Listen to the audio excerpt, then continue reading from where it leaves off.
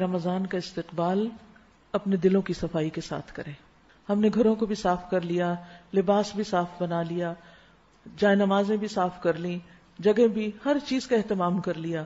لیکن دل ویسے کہ ویسے ہی اس دل کے ساتھ عبادت کریں گے؟ ان دلوں کو صاف کریں۔ سب کو معاف کر دیں تاکہ اللہ سبحان و تعالی ہمیں معاف کر دے۔ اللہ تو یغفر اللہ لکم؟ کیا تم نہیں چاہتے کہ اللہ تمہیں معاف کر دے؟ اگر ہم چاہتے ہیں کہ اللہ سبحانہ تعالیٰ ہمیں معاف کر دے، تو پھر ہمیں دوسروں کی غلطیاں، خطائیں اور قصور معاف فرمانا ہے۔ معاف کر دیجیے۔ اپنے دل ہلکے کر دیجیے۔ دلوں کو صاف اور چمکدار بنائیے۔